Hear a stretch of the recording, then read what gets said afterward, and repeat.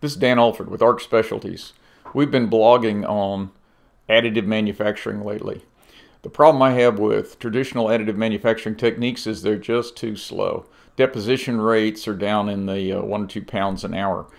Since we know how to do other welding processes at ARC Specialties, we thought we would apply this knowledge to additive manufacturing. So what you're seeing here is we're doing additive manufacturing with submerged arc welding. This is an ancient process. It's over 100 years old.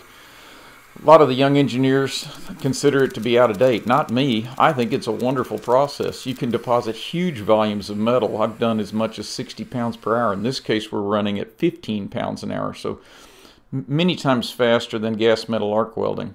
And you also get very sound welds, and you don't have any arc, you don't have any smoke. A lot of, a lot of good things to submerged arc welding. So what we did, we decided we would build a flange using all weld metal. First thing we did was weld it, and then we decided we'd machine it. And normally you would do this on a lathe. Of course, we did it on a mill just so we could do half of it.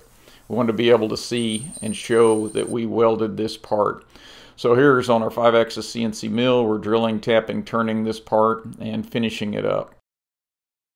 This whole project is part of an in-house initiative to improve the state-of-the-art on additive manufacturing.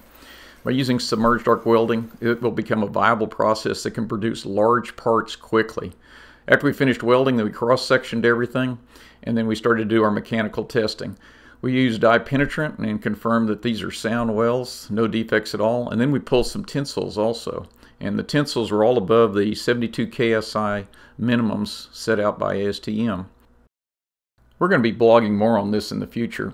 I think the applications will be unusual alloys, long lead times, large parts, things like that. So if you believe you have an application for additive manufacturing that will require high deposition rates, call us. We can work with you in our lab. At ARC Specialties, we thrive on problems. Send us yours.